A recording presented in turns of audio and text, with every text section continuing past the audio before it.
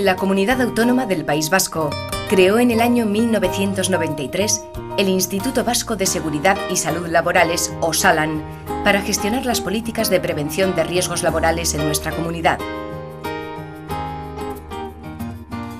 Para llevar a cabo su cometido, Osalan cuenta con unos servicios centrales donde se ubican los órganos de decisión y de unos centros territoriales que acometen las tareas que a Osalan encarga el Consejo General. Este cuenta con la participación de los agentes sociales y de la Administración que aprueban los planes de gestión anuales.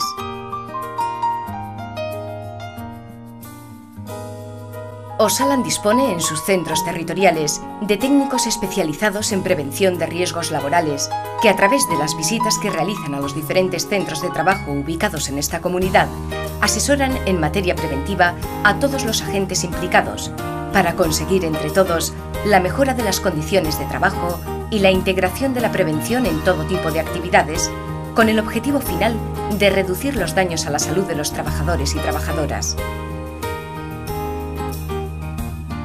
Osalan cuenta con un laboratorio que analiza las muestras recogidas en el ambiente de trabajo para determinar las concentraciones de los distintos contaminantes y evaluar el riesgo al que están sometidos los trabajadores y trabajadoras. En el caso de que se determine que existe riesgo para la salud, los técnicos recomendarán las medidas técnicas de organización para eliminar o reducir la exposición al mismo. Este laboratorio también realiza servicios concertados para las empresas, para servicios de prevención u otros organismos que lo soliciten. A pesar del gran avance que se ha dado en la prevención de riesgos laborales, existen todavía empresas que no la han integrado. Formación, concienciación y sensibilización, integración de la prevención, compromiso institucional y vigilancia de la salud y prevención de enfermedades profesionales.